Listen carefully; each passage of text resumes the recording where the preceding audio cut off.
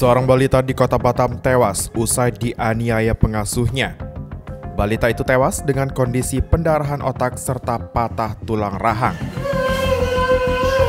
Isak tangis keluarga Noel Bastian pun pecah saat melihat balita berusia tiga tahun itu dimasukkan ke dalam peti di Rumah Sakit Bayangkara Polda Kepri. Sang ayah dan ibu korban tak kuasa menahan kesedihan ketika melihat anaknya tidak bernyawa lagi Balita laki-laki bernama Noel ini tewas usai dianiaya oleh pengasuhnya bernama Bakti Parlindungan.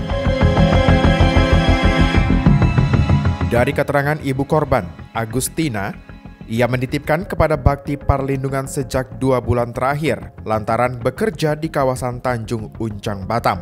Namun, seminggu sebelum korban tewas, Bakti sempat menelpon ibu korban dan memberikan kabar bahwa anaknya masuk rumah sakit. Setelah mendapatkan informasi itu, ibu korban langsung menuju rumah sakit dan melihat anaknya dalam keadaan tidak sadarkan diri, serta terdapat beberapa bekas luka pada bagian wajah dan leher. Korban sempat dirawat selama dua hari di rumah sakit Budi Kemuliaan sebelum dinyatakan meninggal dunia.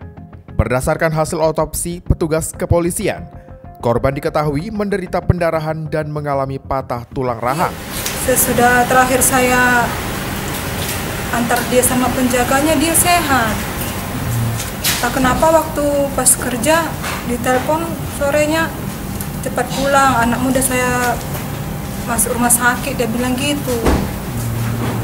Kenapa masuk rumah sakit? Padahal tadi pagi kan saya antar kan masih sehat dia, bilang gitu kan nggak tahu soalnya dia kejang-kejang udah nggak bernapas lagi mungkin step dibilang penjaganya itu Ibu korban yang curiga terhadap kematian anaknya itu lantas melaporkan ke Polsek Batam Kota dan pelaku berhasil ditangkap di kawasan Seipanas, Kota Batam.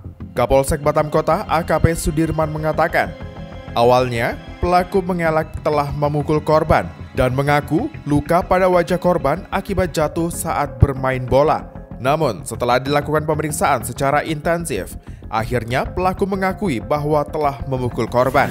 Akhirnya kami ke sana tempat si Bakti itu kami tanyakan uh, tentang anak ini. Memang dia yang yang menjaga dengan istrinya dengan anak tirinya satu umurnya 11 tahun yang betul menjaga kami tanya mengapa anak itu uh, dibilang dia anak itu kemarin kami belikan bola main bola jatuh jatuh setelah terjatuh kami curiga kami kami tidak yakin dia jatuh kami bawa ke kantor kami lakukan pemeriksaan intensif menentukan akhirnya bapak yang pelaku ini mengaku bahwa pelaku ini bahwa korban ini memang ya, dia melakukan pemukulan. Hingga saat ini pelaku telah ditahan di sel Mapolsek Batam Kota guna mempertanggungjawabkan perbuatannya.